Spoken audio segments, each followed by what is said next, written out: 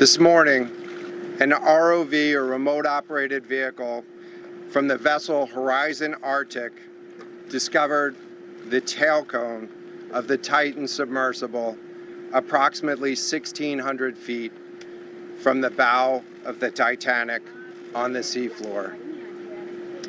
The ROV subsequently found additional debris. In consultation with experts from within the Unified Command, the debris is consistent with the catastrophic loss of the pressure chamber. Upon this determination, we immediately notified the families. On behalf of the United States Coast Guard and the entire Unified Command, I offer my deepest condolences to the families. I can only imagine what this has been like for them, and I hope that this discovery provides some solace during this difficult time.